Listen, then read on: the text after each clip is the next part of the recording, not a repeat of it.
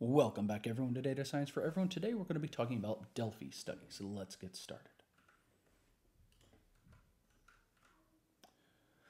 The Delphi method is a structured communication technique or method originally developed as a systematic interactive forecasting method which relies on a panel of experts.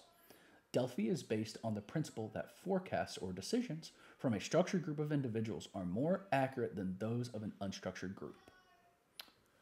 The key to conducting a good Delphi study is a good planning, and traditional Delphi studies will go through the following steps.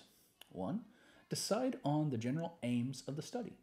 As is usual at the this stage with any research method, you begin with a statement of the problem, then turn this into a specific aims, which you organize into a set of sequential tasks and issues to be tackled.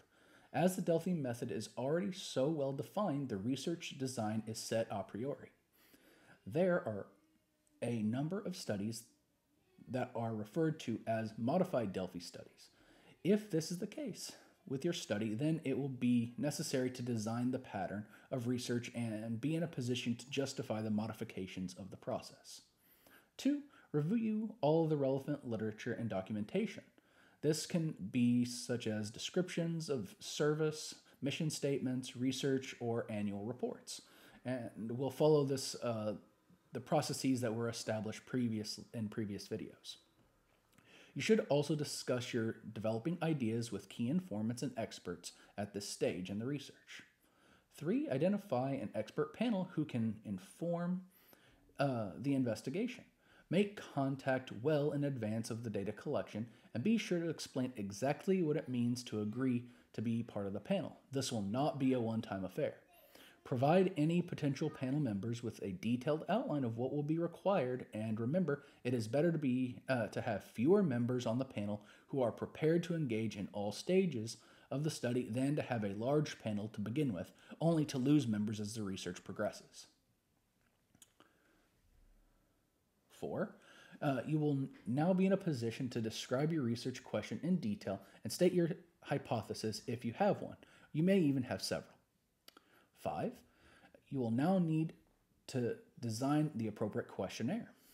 Delphi studies uh, always use questionnaires. It is the only acceptable form of data collection within a traditional Delphi method.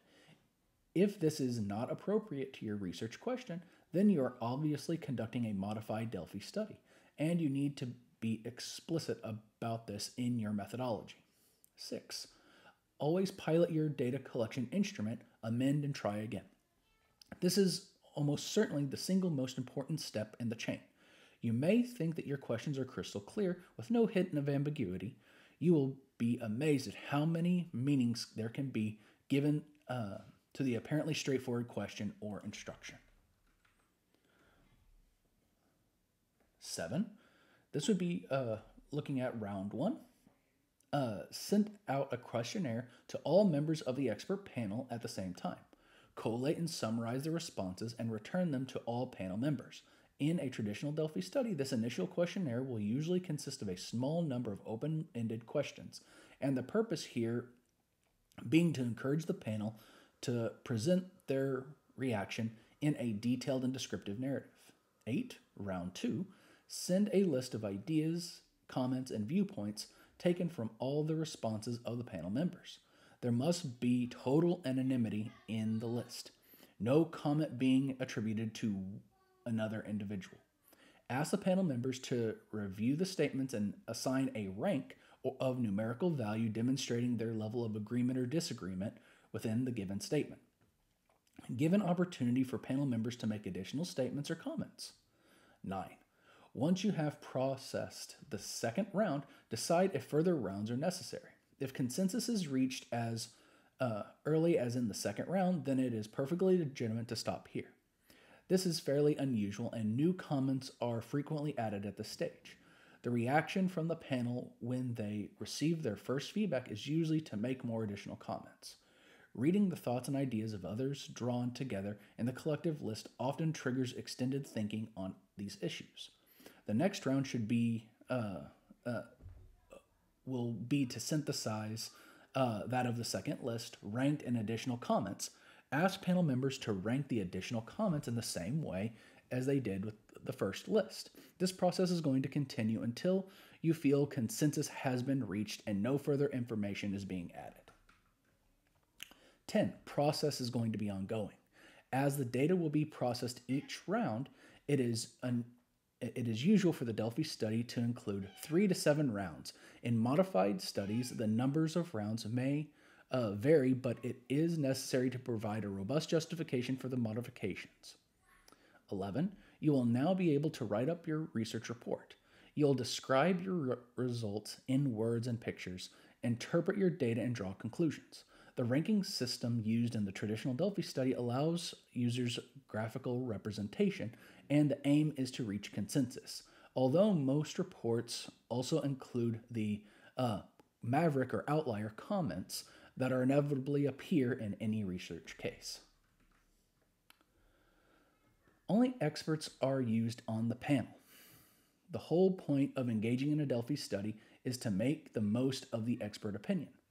It is therefore counterintuitive to invite anyone onto the panel who is not an expert.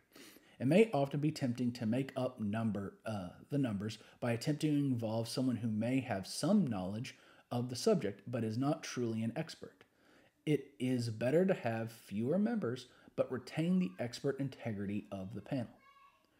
All data is collected in writing because of the nature of this method. There is potential of the researcher to make assumptions, but interpretation of the data is essential, as it is with most research.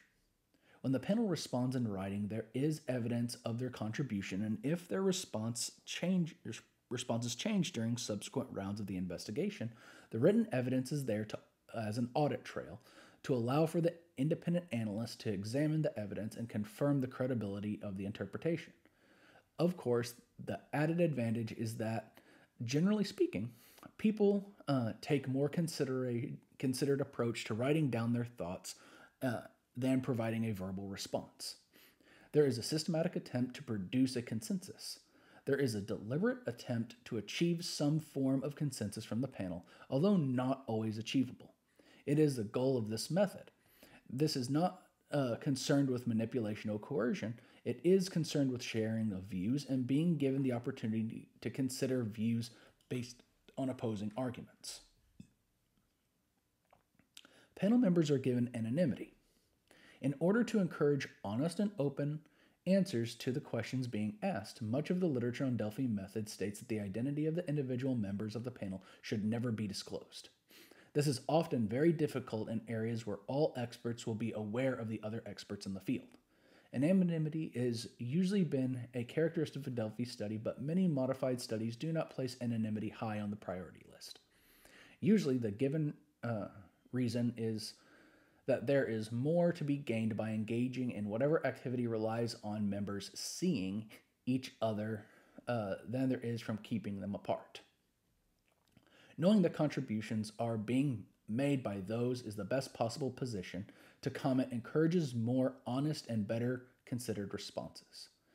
At least two rounds are used. The purpose of a Delphi study is to reach consensus.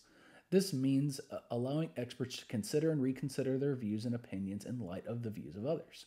This cannot be done in a single round of questioning. The researcher in this situation is both a researcher and a moderator, acting as a go between as ideas are shared, modified, and debated. At least two rounds is the absolute minimum. Three or more rounds are common, and the goal is to reach consensus, having allowed the panel maximum opportunity to contribute their thoughts and ideas. Consensus is the most common outcome, but occasionally there is a divergence result. A Delphi study seeks to achieve consensus, but this is not always possible. Where ideas continue to run at odds, with each other, this uh, must be reported as part of the research findings. It is rare that an entire study would accumulate in a uh, complete divergence, but not unlikely that there is an element of divergence in the findings. A modified Delphi study is often used to describe the research method used when one or more of the rules of the Delphi study has been deliberately omitted from the study. Caution must be taken when modifying a Delphi study as the design was created for a specific purpose and any modification may well disrupt the process.